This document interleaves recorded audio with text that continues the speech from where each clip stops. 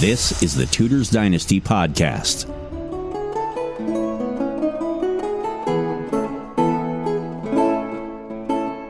Hello, welcome to the show. I'm your host, Rebecca Larson, and since 2017, I've been exploring and sharing with you the stories of those who lived in 16th century England.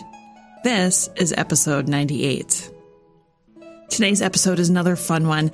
I lead off with Dr. Nikki Clark about my all time favorite Tudor woman, Mary Howard, Duchess of Richmond. Then Dr. Nicola Tallis is back for our Ask the Expert segment, where she answers your questions about Margaret Beaufort. And lastly, I tell you all about Jane the Fool. TudorCon is just around the corner. Do you have your digital tickets yet? They're $29 and you'll get two days worth of speakers, including yours truly. I'm speaking on Saturday, October 3rd, and I'll include a link in the show notes so you can check out more info yourself. Now, please hang tight with me a moment while I thank my newest patrons. Now, if you're listening to this right now, it's because of the support of all of my amazing patrons. And I have 15 new ones since the last episode. I can hardly believe it. I really do feel the love, you guys. And thank you, thank you, thank you. Marie M., Rayanne B., Lisa D., Elska V., Allie S., Lynn H., Carrie C., Janae E., Gail L., Sherry C., Melissa K., Sarah W., Stephanie C., Lauren S., and Amy Z.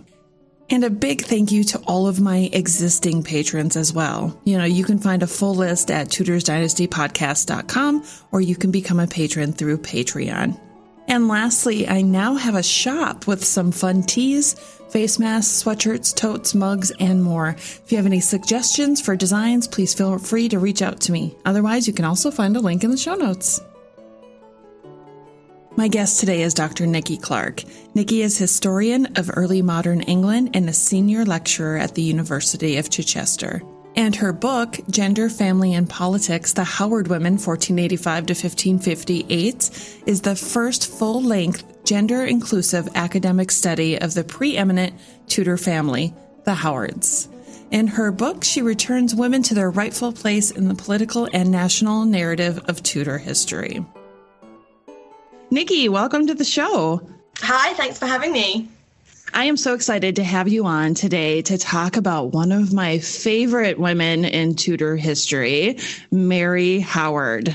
Before we get started, let's talk a little bit about your knowledge on Mary and uh, where you got that from. Well, at the beginning of my PhD, I knew that I wanted to work on women during the Tudor period. So I spent quite a lot of time with Henry VIII's letters and papers, doing a lot of reading, and I started to notice that Howard women just kept popping up everywhere. I literally couldn't get away from them. Even if they didn't actually have the surname Howard, or they were known by a different married name, once I took the time to work out who those women were, the odds were high that there was some kind of link to the wider Howard dynasty. Um, so at that point, I drew a massive family tree on like A3 or A2 paper or something, including all the women, which a lot of them don't usually. And then I put a red dot next to everyone who got executed. And there were so many red dots. It was unbelievable. And there were also a huge number of women surrounding all those figures that we already know about, like Anne Boleyn or like the Duke of Norfolk. And I realised that I had something here. I wanted to look at those women around them to try and better understand how families at court really worked, whether women did just do as they were told or whether there was more to it. And Mary Howard caught my eye as part of this because she most definitely did not always do what she was told. and that's why we love her so much. Absolutely. Let's go back to the beginning when it comes to Mary Howard for those listeners who don't know her very well. Where did Mary grow up? So we think Mary was born in about 1519. Her father was Thomas Howard, the third Duke of Norfolk, and her mother was Elizabeth Stafford, one of the daughters of Edward Stafford, Duke of Buckingham. So Mary is top drawer aristocracy. Um, there is a slightly gruesome story about her birth, so content warning there for domestic violence. Her mother would later allege that when she'd been in labour two nights and a day with Mary, her father, so Norfolk, dragged her out of bed and around the house by her hair and wounded her in the head with a dagger. He wrote to Wolsey later on specifically to deny this, saying that she'd been putting this story about just to slander him. And he said that he could prove by witnesses that she'd had the scar on her head months before she gave birth to Mary, and that no man would treat a woman who was in labour in that way, and he wouldn't have done it for all that he was worth. So we don't know whether that's true or partly true, or completely made up, but it does suggest that Mary's entry into the world might not have been especially smooth. Their relationship uh, between the Duke of Norfolk and Elizabeth Stafford uh, was, uh, to say it was a rocky one is an understatement. Uh, how do you think her parents' relationship affected Mary in the future? It's difficult to know. I mean, for much of Mary's childhood, her parents may have been at odds. Uh, she would have been brought up in the family's houses in East Anglia, so Tendring Hall in Essex, Kenninghall in Suffolk, probably Framlingham Castle a little bit later, um, along with her older sister Catherine and her brothers Henry and Thomas, at least for some of the time. Um, she wouldn't necessarily have spent a huge amount of time directly with her parents because she would have had a nursery staff and a governess and things like that.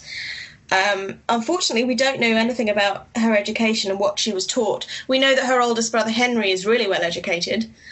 Um, and we do have letters from Mary that show that she could read and write. We know she read scripture in English and that she had books dedicated to her. Uh, beyond that, it's unclear. So, in, in her childhood, her parents' relationship might not have affected her too strongly. Um, the problem between her parents was that Mary's father took a mistress called Bess Holland, who had previously been in service in the household, and Mary's mother Elizabeth objected really strongly to that, which is quite unusual during that period. And then around Easter 1534, there was some kind of last straw event, we don't know exactly what, and Norfolk locked his wife in a chamber, took her jewels and her valuable clothes, and then took her to a house in Redbourn in Hertfordshire and left her there with a reduced household and income. Mary would have been about 15 at that point. And in 1534, she was in service at court with her cousin Anne Boleyn. And we just don't have any evidence that gives us any clue as to her real feelings about her parents' relationship.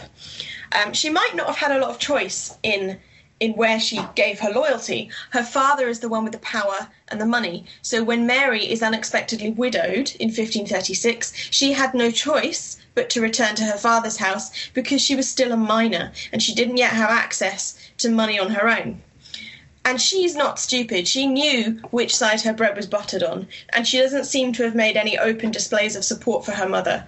Um, in fact, during the later 1540s, she lived at Kenninghall with her father and his mistress, Bess Holland, which is something that her mother Elizabeth found very difficult to stomach. And it might be that her parents' marriage breakdown did influence her own decision to remain a widow and not to remarry later on. We can't be sure of that because there's no concrete evidence that, that truly supports it. But it does make sense that she'd rather remain a widow with her own legal identity, her own income, more independence, than to put herself in a position where a future husband would legally be able to treat her in the same way that her father had treated her mother. You know, at the time of Mary's betrothal to Henry Fitzroy, her father had great favor with the king. Would that be safe to say? Yeah, I think that's fair. Uh, yeah, um, Mary's older brother Henry, the Earl of Surrey, was a companion of Henry Fitzroy's when they grew up. Um, and Norfolk had been in charge of setting up that household. It's also the time of Anne Boleyn's rise, Henry has more or less decided that he'd like to marry Anne Boleyn next, and therefore her family are, are in, in very high favour. Mary was actually at this point already betrothed to someone else when the Fitzroy marriage became an option. She was meant to marry the heir to the Earldom of Oxford, and that would have been a good match as well. Uh, the De Vere family, who were the Earls of Oxford, and the Howards had intermarried before, and they had a really good relationship, and their, their estates are geographically next to each other, so it made a lot of sense. But it becomes clear in the late 1520s, early 1530s, that the king is favourable to the idea of a Howard girl marrying his illegitimate son, Henry Fitzroy. Now, Mary had an older sister, Catherine, but Catherine had just been married to the young Earl of Derby, and that was a really, really lucrative match for the Howards. So, rather than undo that, Mary's existing betrothal was broken so that she could marry Fitzroy. However, at that point, in spring 1530, her older sister Catherine died very suddenly of plague right after the marriage to the Earl of Derby. The Howards didn't want to lose that match, and so Mary's mother thought that Mary should step into her sister's place and marry the Earl of Derby. But Anne Boleyn got involved at this stage. She was very keen to cement her own position in the royal family by creating other royal connections by marriage, and so she really wanted Mary to marry Henry Fitzroy.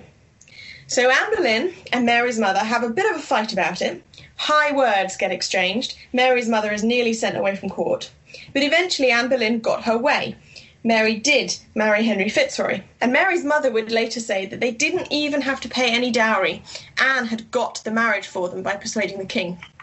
It's probable that Mary herself doesn't have a lot of say in this. She is only a teenager at this point.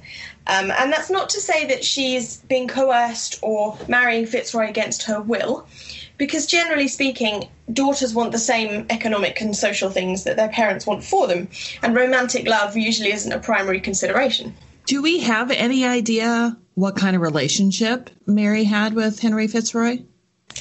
To be honest, not really. And this is partly because they're so young. Um, so they are married in 1533. But at that point, oh gosh, maths, Mary is only a teenager in her mid teens. Fitzroy is about the same. And Fitzroy dies very unexpectedly and suddenly, only three years later, in the summer of 1536. And because he died so young, it's very hard to know what he was like as a person. And I mean, at this point, Mary's own character is probably still forming. They didn't ever live together because they were married so young that it was agreed that they were too young to cohabit and have sex and properly start married life. That's quite common for aristocratic marriages. They're made very early, but often the contract will specify that married life itself won't start until the pair are 18 or above. They would have known each other quite well, probably, from court service, but really, for Mary, aside from her title now being Duchess of Richmond and her now having the status of a wife, probably not a lot changed for her in daily life. And then in the summer of 1536, Henry Fitzroy dies. What was it exactly after Fitzroy's death that Mary was fighting for? Yeah, Fitzroy dies unexpectedly in the summer of 1536. We're not really sure what from. Um, I think people often often say that it was it was some kind of tuberculosis, but realistically we don't know, and it's very difficult to diagnose something like that at a 500 year distance, where diseases have changed and the way that we record symptoms has changed and so on. It just doesn't work very well. Uh, but yeah, 1536 is a really really bad year for Henry VIII. So yes, Mary is suddenly a widow. She's only about 17, very young. When a marriage is made between aristocrats at this time, an agreement, or basically a contract, is drawn up between their families beforehand about the financial agreements, because marriage for the nobility is an economic contract above all. So the bride would bring a dowry with her. Occasionally that's land, but more usually by this point it's cash.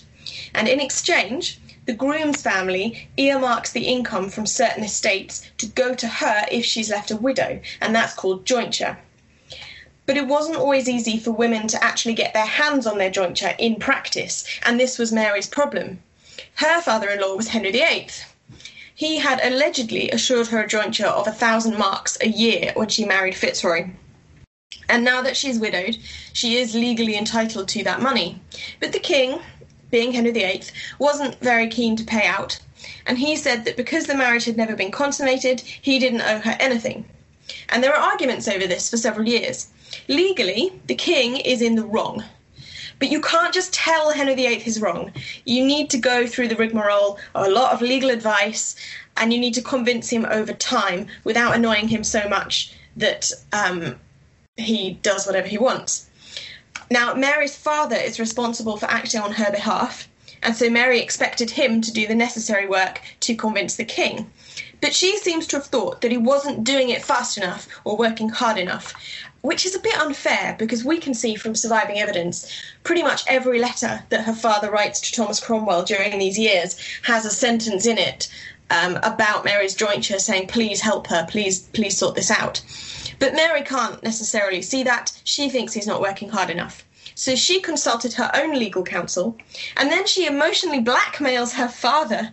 He writes that uh, she keeps, with weeping and wailing, demanding to go up to court and talk to the king herself. And this is where the first marriage, or uh, the marriage that they wanted with Thomas Seymour, comes in. So Mary's father, the Duke of Norfolk, along with the king, Thomas Cromwell, and the Seymour family all got together to concoct a nice new plan. If Mary were to remarry, then they could quietly brush that question of her jointure under the carpet and the whole problem would be solved. And Thomas Seymour was chosen, probably because he's a good option for the Howards. The Seymours are uncles of the future king, Prince Edward VI, so it was really sensible for Thomas Howard to create a kinship tied to them for the future. Thomas Seymour is the younger son, but he's the one who's single. So quietly, they make all the arrangements, and then Norfolk lets Mary go to court to talk to the king about her jointure. And while she's there, they seem to have surprised her with this plan. It's not 100% clear what happened next, but basically, she seems to have refused point blank and gone straight back to Kenninghall, and Norfolk was left um, embarrassed and having to apologise for her. And by that point, it was 1538. And shortly after that, the king eventually did cave in and give her the estates that would pay her jointure. So Mary did win that battle. After what, five years? Yeah.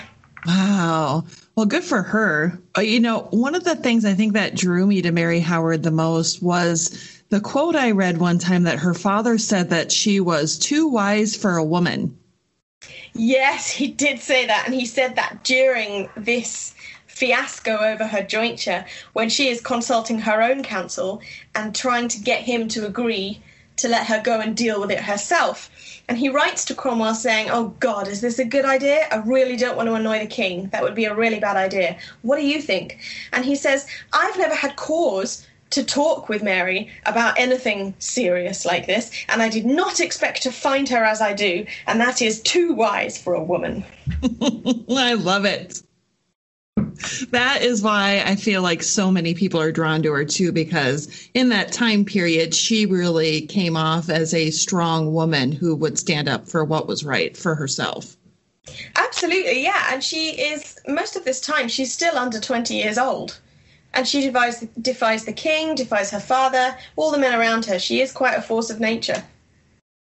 So you mentioned that in her earlier years that she um, there was a marriage ar- arrangement being made with the Earl of Oxford, um, and then we talked about a possible marriage with Sir Thomas Seymour twice. That was brought up. Was there anyone else that was considered for marriage with her? Not that we know of, no. No, so Sir Thomas Seymour was suggested once in the late 1530s, and then again right near the end of Henry VIII's reign. For some of the same reasons, I think by that point it was obvious that the king was not going to live forever and that there was going to be a minority rule under his son Edward VI. And the minority normally has a regent or a regency council. The obvious people to be in charge on this occasion were the Seymour men because they're Prince Edward's uncles. And by that point, there's also a lot of religious instability with religious conservatives uh, versus religious progressives, normally known as evangelicals, um, at court. The Duke of Norfolk is known as a conservative, but the Seymours, and in fact Mary herself, were evangelicals.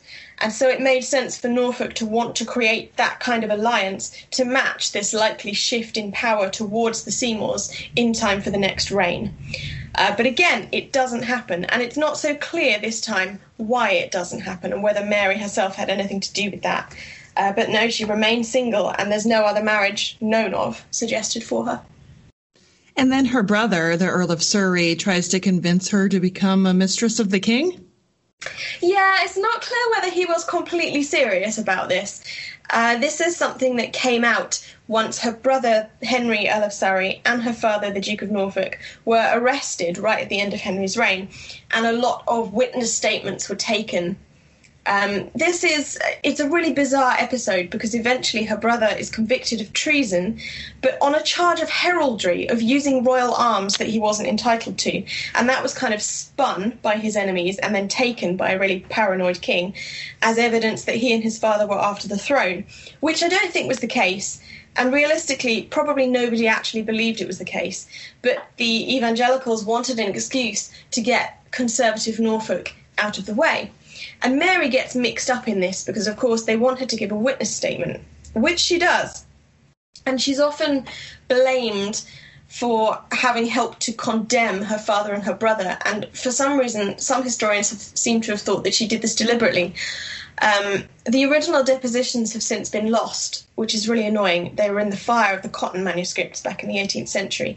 But they were seen by Lord Herbert of Cherbury, who was Henry VIII's first biographer in the I think the late 16th century and he wrote summaries of them in his text. And when you actually look at what survives it seems that Mary did her best to follow a very careful path. She knew that she couldn't you know save her brother and her father but she seems to have recognized that her father was the real target and that maybe she couldn't save her brother but she could at least clear her father. And so she was deliberately quite vague in the answers that she gave about the heraldry they were using, which isn't realistic for a daughter of the Duke of Norfolk who's been brought up with heraldry all her life. So she does seem to have done her best.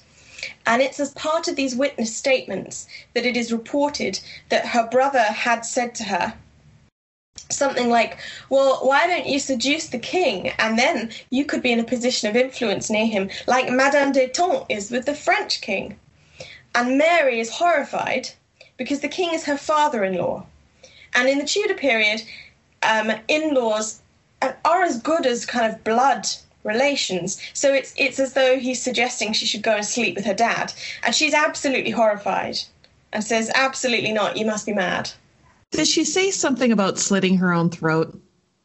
Something like that, yeah. Off the top of my head, I'm not sure what the quote is, but it is something like, I would sooner die than do this, or something like that. Fiery Mary. I love it. Now, Mary died um, in the 1550s. What was her what was her life like after Henry VIII died? After Henry died, her brother has been executed right at the very end of Henry's reign. Um, and her father was also imprisoned. He was due to be executed, but conveniently, Henry VIII died the same night that he signed the death warrant and the Regency Council for the new king, Edward VI, thought that it was maybe a bad idea to start a new reign with bloodshed. And so they just left Norfolk where he was in the Tower of London for the entirety of Edward VI's reign. Um, and five years in the Tower of London would have finished off somebody weaker. And Thomas Howard is in his 70s by this point. But no, he carries on and he's eventually released at the start of Mary's reign. But during that time, Mary is there as an independent widow no longer under the eye of her father, and she also has custody of her brother's children, her nephews and her nieces. So she spends Edward VI's reign bringing them up. She hires John Foxe, the very famous Protestant martyrologist who wrote uh, Foxe's Book of Martyrs. She hires him to be their tutor, and he starts to write the Book of Martyrs while within her household, which is a pretty big claim to fame. So she brings her nieces and nephews up, but she also furthers her own religious beliefs and her role as a patroness of evangelical writers during this period. She has a lot of books dedicated to her, um, and the freedom to do that must have been really welcome to her. Well, thank you so much for letting us all know and see a little bit inside of the life of Mary Howard. We've now reached the part of the show, the new segment of the show, If I Made You Choose. So, this is the part where I make you choose between two people from the Tudor period without explanation. Okay, cool. Let's go. okay, the first one is Elizabeth Stafford or Bess Holland. Oh, Elizabeth Stafford, it has to be. The next one is Anne Boleyn or Elizabeth I. Oh, that's actually harder. Hmm, I think I think I would say Elizabeth I. The next one is Cardinal Wolsey or Thomas Cromwell. Oh, Thomas Cromwell. And the last one, this one is my personal favorite. If you had to choose Edward Seymour or Thomas Seymour? Oh, God. Oh, that's like Prince William or Prince Harry. We used to do that at school. Um, okay, Edward Seymour's the sensible one, but Thomas Seymour seems to have been the hot one, if that makes sense. I would prob oh, ah, I'd probably go for Thomas Seymour because they both end up executed and you might as well have some fun beforehand. I love you are the, the second person this season that I've asked that question to, and Thomas it was picked that time for the same reason that he seems like he'd be the more exciting one to be around. I don't think he's a good choice for marriage, clearly, but um, Edward Seymour just really doesn't seem like a lot of fun at all. Thank you so much, Nikki, for being on the show today and talking about Mary Howard and answering my silly questions. Thanks very much for having me. It's been fun. If you'd like to find out the reasons why Nikki chose the answers she did, become a patron at patreon.com slash tudors dynasty and get all the scoop. And now, Ask the Expert. Nicola, welcome to Ask the Expert. Pleasure. Thank you so much for having me. I am so excited today to uh, present you with some listener submitted questions about Margaret Beaufort. So, are you ready?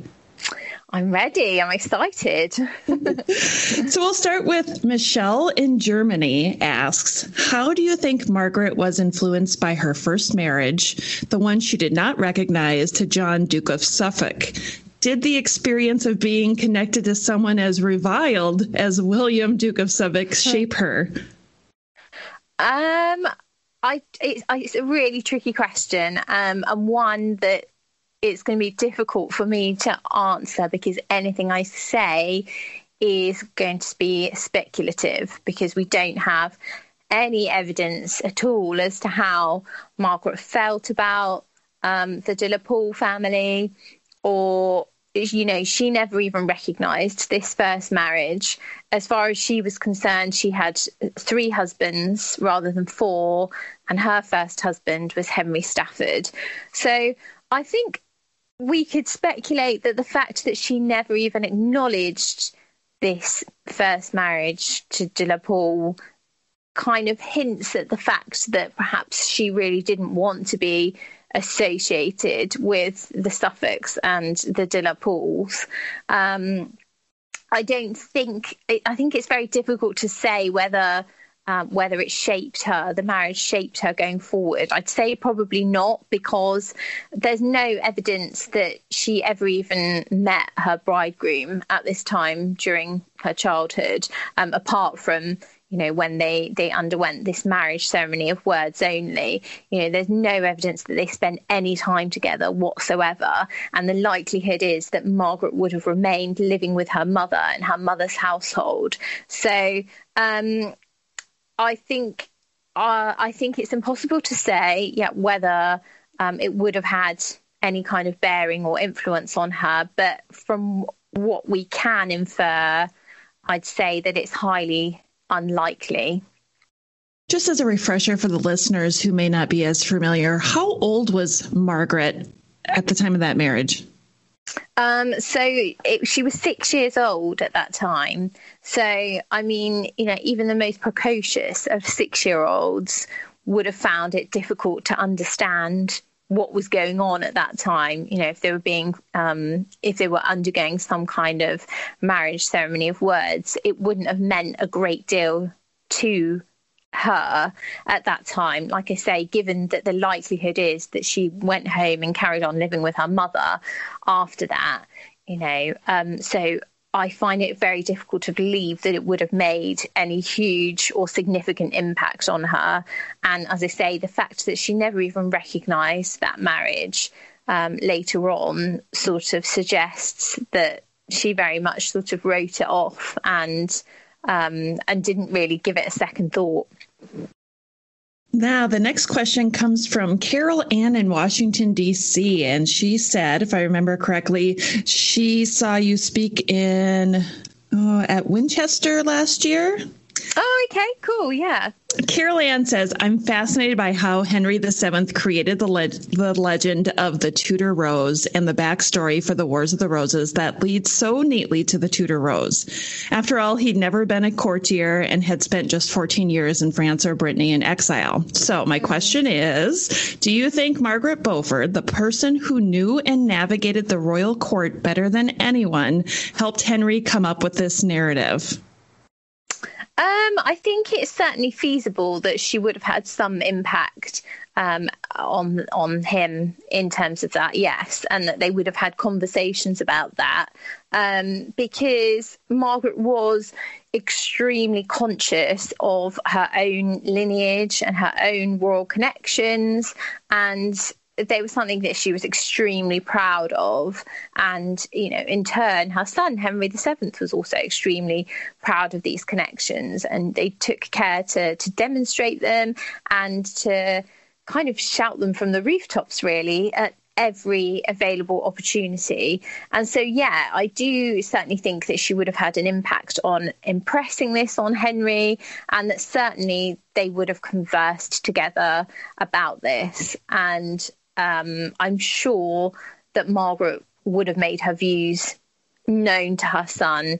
And, you know, the, the evidence that we do have suggests that Henry, you know, also was very open to and responsive to Margaret's opinions and um, her, her views on things. So I'm sure, yeah, that we can not know for certain, but that we can infer that um, she would have had some bearing on that, yes. And a follow up to that, Sarah on Facebook wanted you to maybe elaborate a little bit more on Henry VII's legitimacy and his claim to the throne. Can you elaborate for listeners a little bit where his claim came from?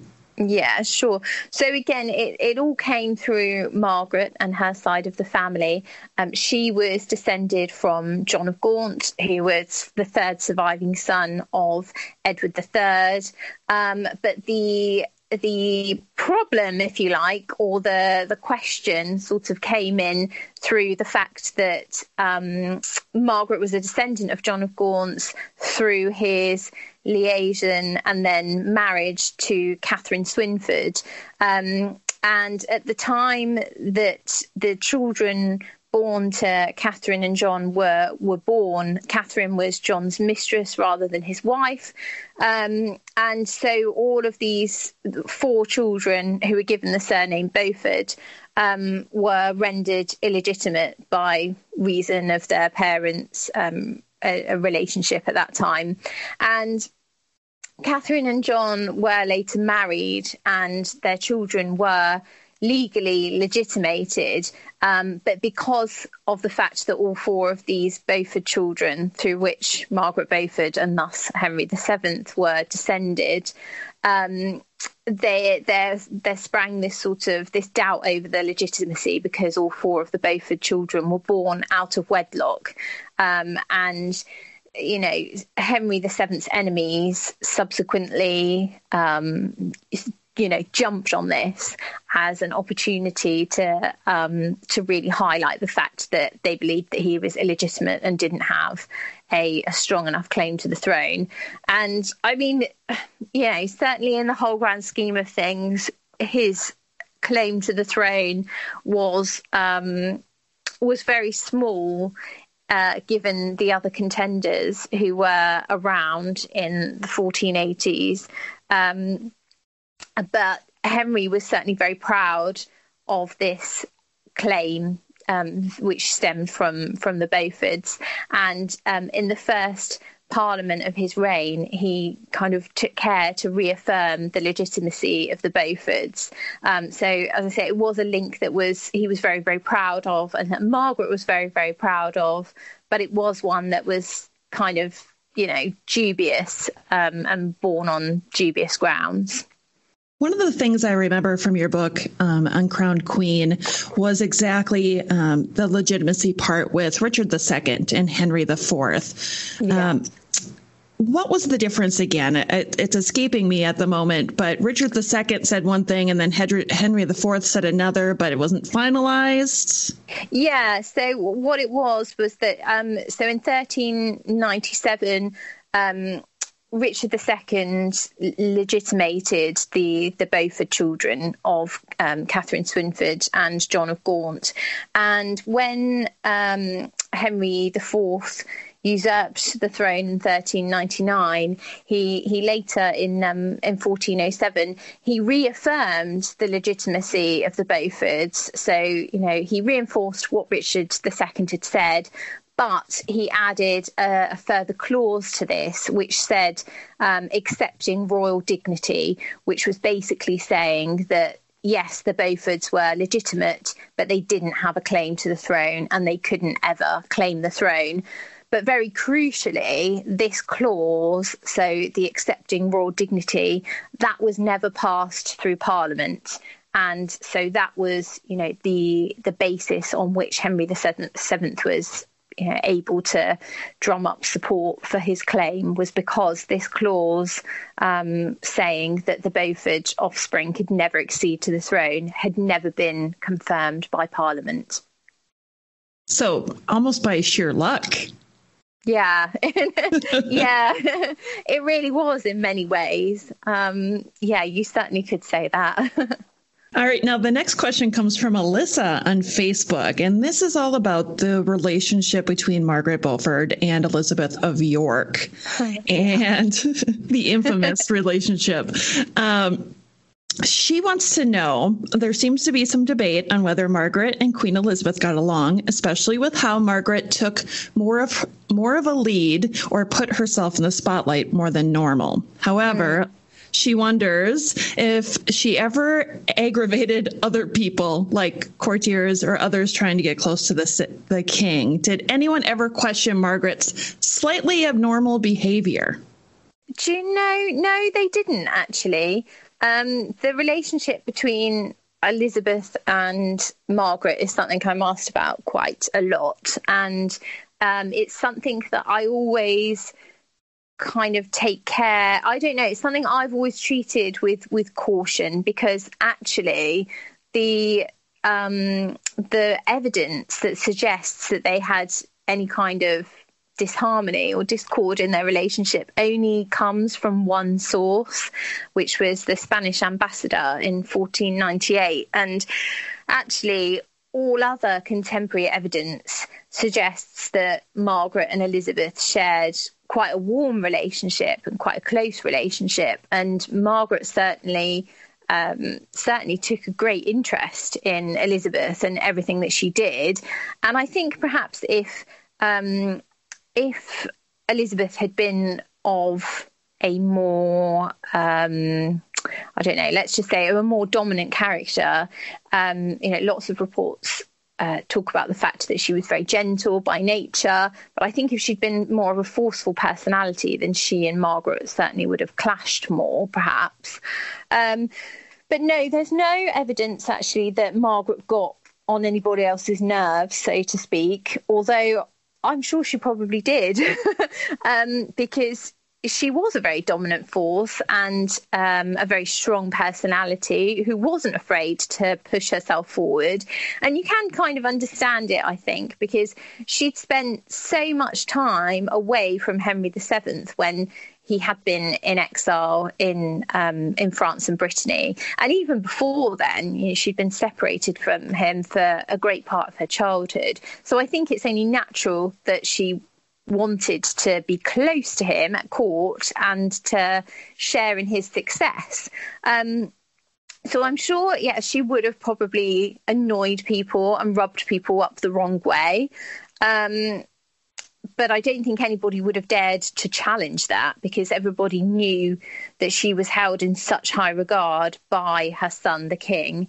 Um, and actually, all of the other evidence that that we have shows that she was actually very well regarded by a lot of people, and particularly her household. They absolutely adored her, um, and and everybody spoke very highly of her within her household and talked about how generous she was, how kind she was. Um, so I think, um, yeah, as I said, there's no there's no sort of evidence, direct evidence that she uh, she had arguments or strained relationships with anybody in particular. Um, but I'm sure, you know, I'm sure that there probably would have been occasions then when, yes, she um, perhaps got ideas above her station. and and rightfully she had a claim to the throne herself. So why do you think that she wanted her son to take that instead of herself? Was it just because she was a woman, or why do you think Margaret was willing to step back and allow her son to be the heir, so to speak? Yeah, I mean, I think, I think, I think probably largely the fact that she was a woman. Um, would have had uh, would have been the overriding factor but i don't ever really think that she seriously considered herself as a contender to the throne, to be perfectly honest. I think that all of her ambitions and all of her hopes were for her son. And that was the way that it had always been. And I think from the moment that he was born, her her instinct was to protect him and to um, you know to keep him safe as far as she was able, and I think that that was very much her her instinct up until 1483 when Edward IV died unexpectedly. And I think that it was only then that she saw this opportunity for Henry. And um, I think if you consider, you know, what was going on at this time, you know, um, as I say, Edward IV king died unexpectedly. He had two male heirs. Um, and then there's obviously Richard III, who, uh, you know, um, let's just say, well, he imprisons them anyway. Um, and I think so. If you look at it, all of those contenders for the throne are male, and I don't think there would have been any question at that time of Margaret putting herself forward. And even if she had, I don't think. I don't think she would have had any support for any claim to the throne. And I think she probably would have recognised that. So I think her son was certainly um, you know, the most viable Lancastrian alternative. Um, so yeah, I, I just don't think that she ever really would have considered herself as a contender. Now, Betsy in North Carolina brings up the question that we probably hear the most, and I'm sure that you have debunked this a million times. But let's talk a little bit about Margaret's drive to put her son on the throne. Yeah. Okay. Really, really, when it comes down to it, that wasn't her initial mission, correct? Correct. Uh, thanks to popular culture in, in recent years, there has been this misconception, a huge misconception, that from the moment of Henry Tudor's birth, Margaret's sole aim was to put him on the throne, and she believed that that was his God given right and his destiny. And that's just not true. Um, you know, you have to consider that the time that Henry VII was was born, you know, the the Wars of the Roses were underway. Um, at that time, uh, Henry VI was, of course, on the throne. He's got a male heir of his own. Um, and Margaret was wholeheartedly loyal to her Lancastrian family. And at that time, her sole consideration was to ensure her son's safety and well being. Um, and that remains the case throughout the Wars of the Roses. And that's why, you know, Henry ends up setting sail for France, although ends up in Brittany in 1471, um, because contemporary several contemporary sources say, and I think you know that they're probably right, that this was done at Margaret's urging, you know, that she urged him to flee abroad for his own safety, because 1471 following the Battle of Tewkesbury and um, the murder of Henry VI and his heir, um, Edward of Lancaster, I think Margaret then realised that Henry was in a potentially dangerous situation as a Lancastrian heir and needed to you know keep him safe and to preserve him. So yes he goes he goes off abroad and then it is only in 1483 that things change um, because it's very obvious that prior to that or there is evidence that prior to that Margaret was working very much to try and effect a reconciliation for her son with Edward IV. And um, she'd actually managed to get Edward IV to draft a pardon for Henry Tudor, but unfortunately for Margaret, and you know, frustratingly for for Henry, Edward died before he could sign the pardon, and um, and then of course everything falls into a complete disarray when um, Edward V is deposed and Richard III assumes the throne in his stead. And I think at that point, you know, Margaret had no idea what Richard's attitude towards Henry was going to be. You know, would he be as conciliatory as his brother had been, or would he be more antagonistic? And I think she also recognised that Richard's um, usurpation was unpopular, and it was this really that led her to see this opportunity for her son and made her think, okay, well, Richard's unpopular. Um, who can we put forward as an alternative? Oh, yeah, there's my son. He's in, he's abroad. Um, so I think that, yeah, it's very, very clear that prior to 1483, Margaret's hopes for her son were all centred around keeping him safe and it's only really because of chance through um, Edward IV's death in 1483 that the whole change in her attitude and her ambitions comes about. And if you're fascinated by Margaret Beaufort, like most people are, I highly recommend that you pick up Nicola's book, Uncrowned Queen, which is pretty much available everywhere. I will include links in the show notes as well so that you can buy your own copy today. Nicola, thank you so much for answering the listener questions. Thank you so much. It's been a pleasure. And now, a brief history. The earliest references to what we know as court jesters or fools date back to the 5th dynasty of Egypt, whose pharaohs employed pygmies as dancers and buffoons.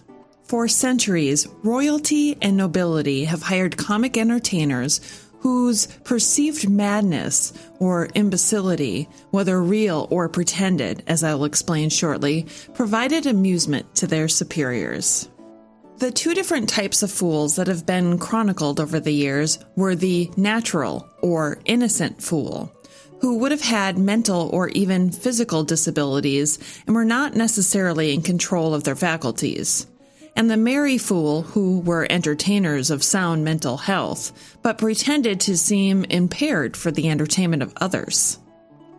The innocent fool was defined in 1616 by Nicholas Breton as one abortive of wit where nature had more power than reason, and was believed to be, to some extent, closer to God, and therefore highly valued by nobility. Although they were employed for entertainment purposes, they were treated as precious possessions of the court. Fools throughout history were almost entirely male. Yet the star of our story today was a somewhat more elusive female fool simply known as Jane. Jane's birth and early years have never been recorded, so all we really know of her life were fragments of time between the years 1535 and 1558, for the most part. Her existence is only known to us by way of accounts mentioned by Anne Boleyn in the last year or so of her life, through the privy purse expenses of Princess Mary, and certain purchasing records of Queen Catherine Parr. She's also widely accepted as a background figure in a famous painting of Henry VIII and his family. More to come on that as well.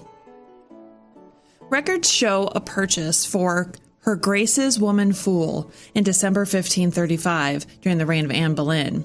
Now, this presumably referred to Jane and included a green satin cap and 25 yards of fringe used for the trimming of a dress. Jane doesn't seem to have been particularly important to Boleyn. When she was executed in May 1536, Anne's household was dispersed, and Jane likely went into the care of the Princess Mary, the place where she was loved and cared for for the next 20 or so years. Princess Mary treated Jane with fondness and affection, despite still making her shave her head every few weeks, as the male fools had to do as well. Jane actually developed a skin infection on her scalp in March of 1543, probably from the constant head shaving. Mary provided Jane with an expensive wardrobe, lessons on the virginals and the lute, and interestingly, an unusually extensive shoe collection. Now, what girl wouldn't like that? It's also mentioned in several sources that Jane's tenure overlapped with Lucretia the Tumblers and that they were given identical clothing. In 1542, it said that a pair of shoes for Jane and another for Lucrece were purchased, followed by a set of smocks for both as well. It suggested that Lucretia, although a trained entertainer, more of the merry kind of fool I discussed earlier, versus Jane, a natural fool, was her close companion who potentially acted as her keeper. Another of Jane's contemporaries was Will Somers, the fool to Henry VIII. Some say that he may have had a romantic relationship with Jane, or that the two were even married, but that's highly unlikely. Remember his name because I'll be mentioning him again. Moving on to 1543, when Henry VIII married Catherine Parr, and both Elizabeth and Mary were restored to the line of succession, Parr was compassionate enough to bring Mary's beloved fool into her own care. The new queen allowed Jane to care for a small flock of chickens in a privy garden, for her entertainment and to allow her a sense of responsibility. Shortly thereafter, what would become an extremely famous portrait was painted of Henry's family. This painting, The Family of Henry VIII, was completed in 1544 45 and can currently be found in Hampton Court Palace. Although this work of art could have an entire segment dedicated to it alone, I'll try to stick to the topic at hand. But be sure to check out the show notes to see the painting I'm referring to. There are many theories surrounding why it was painted the way it was, mainly because the queen featured beside the main focal point, Henry, of course, was Jane Seymour, the wife who had been dead for nearly a decade, and not his current wife and consort, Catherine Parr. Henry and Jane Seymour's son Edward is found at the right of the king, implying that this threesome would have been the holy trinity of family. Then positioned on the outer sides of the trio are Elizabeth and Mary, also potentially implying that although they had been formally reintroduced into the succession, that they were still considered outside of the true family unit. But I'm rambling. The theories behind this painting really are interesting, and I would strongly suggest that you look into the hypothesis about why each object and person are positioned the way they are. Now, the reason I mention the portrait is because of the people painted on the far outer edges of it. To the right is Will Somers, Henry's fool, with a monkey on his back, and he looks like he's picking his head for lice. And to the left, none other than our Jane. She seems to be looking away at something out of sight of the painting and is wearing a tight fitting cap, likely covering her recently shorn hair and her uniform, which was an expensive outfit cut in the Dutch style rather than the more fashionable French style to show lower rank than royals or nobles. Her gown consisted of a kirtle, the outer gown, with an upstanding collar parted in the front to reveal a pleated underskirt, or a forepart. The fact that Jane and Will were both added to this painting implies significant status within the royal family. As we approach 1546, records with the mention of Jane just cease to exist. We do not know what happened to her after Henry passed in 1547, as all documentation referencing her employment or whereabouts is simply not found. However, again in 1553, a new batch of orders for the newly crowned Queen Mary I were purchased. We can see that she bought fine gowns and petticoats for Jane, made from such fabrics as lace, silks, and satin. Quality items that generally would have only been worn by the Queen's ladies and nobles. Jane's job as Mary's fool would have included telling stories, jokes, singing songs, and playing music. Yet we also know that after their many years together, that the queen had a fondness for Jane. The women would go riding together, and Jane would even gamble with the queen, one of Mary's favorite pastimes. Jane and Will Somers were further elevated in the standing under Queen Mary and given special lodgings and matching outfits for their performances. Jane was also included in the St. Valentine's Day lottery every year until 1558. This meant that every year, men of the court drew ladies' names to find out their dancing partners. Once chosen, the woman had to buy gifts for their Valentine, a task which was done by the Queen each year on behalf of Jane. In fact, she was entirely supported by Queen Mary until the end of Mary's life.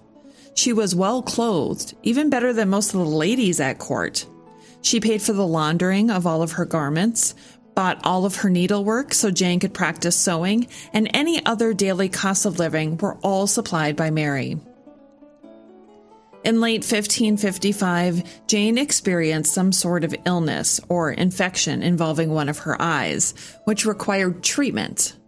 As usual, Queen Mary stepped in and not only paid for the physician's care, but also for an around the clock caregiver to attend Jane. Gifts were continuously sent during the time of her healing. Mary maintained her relationship with Jane right up until her death, with records showing that even in her last year of life, the Queen was still ordering new clothes for her fool. Unfortunately, once Mary I passed and Elizabeth was crowned, there was once again no mention of Jane anywhere. What evidence I have found come from a Victorian writer called Augustus Jessops. Now, Jessops appears highly regarded, and for that reason, I'm repeating what he wrote, but normally I'm skeptical of any Victorian records. Now, he says, among the closest and the dearest of the Princess Mary's friends and attendants were Henry Jerningham and his wife, who was her lady in waiting and had attended upon her at her coronation. Now, Queen Mary knighted Henry Jerningham and appointed him vice chamberlain in 1556 and master of the horse in 1557. He was also given some very extensive grants of land and more. Upon the accession of Queen Elizabeth, Jerningham lost all hope of preferment, as he was of the old faith like Queen Mary. So he retired from court and moved to Norfolk. Sir Henry Jerningham died in 1573, and in his will made mention of one Jane or Joan Cooper.